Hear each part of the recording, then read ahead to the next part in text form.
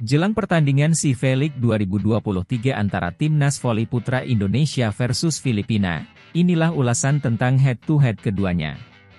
Diketahui, Timnas Voli Putra Indonesia akan melakoni laga perdana si Felix 2023 melawan Filipina hari ini, Jumat, 21 Juli 2023, pukul 18 waktu Indonesia Barat.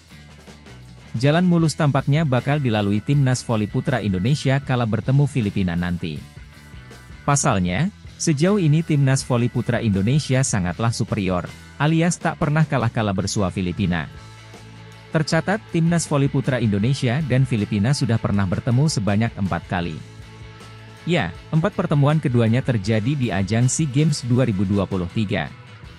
Pertemuan pertama antara timnas voli putra Indonesia versus Filipina terjadi di SEA Games 2017 Kuala Lumpur. Kala itu, timnas voli putra Indonesia dan Filipina tergabung ke dalam grup B. Pada pertandingan babak penyisihan, skuad Indonesia yang diperkuat Agung Seganti saat itu sukses menggilas Filipina dengan skor 3-1, 21-25, 25-23, 33-35, dan 21-25.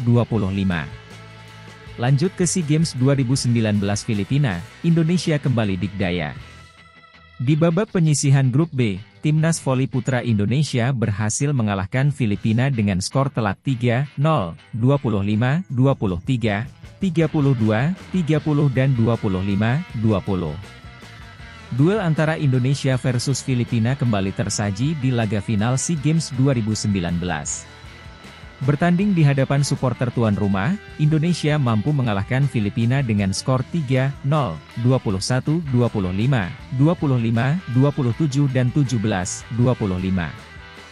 Atas kemenangan itu, Indonesia berhak membawa pulang medali emas SEA Games 2019.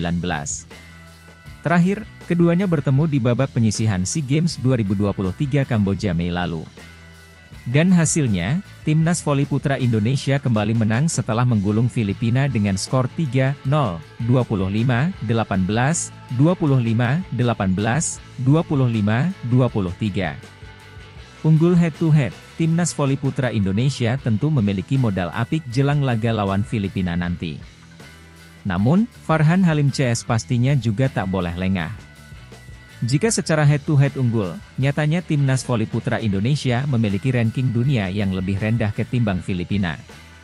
Dikutip dari situs resmi volleyballwarworld.com, saat ini timnas voli putra Indonesia berada di ranking 68, sedangkan Filipina menempati posisi 59. Patut dinantikan kiprah Fahri Septian dan kolega di laga melawan Filipina nanti.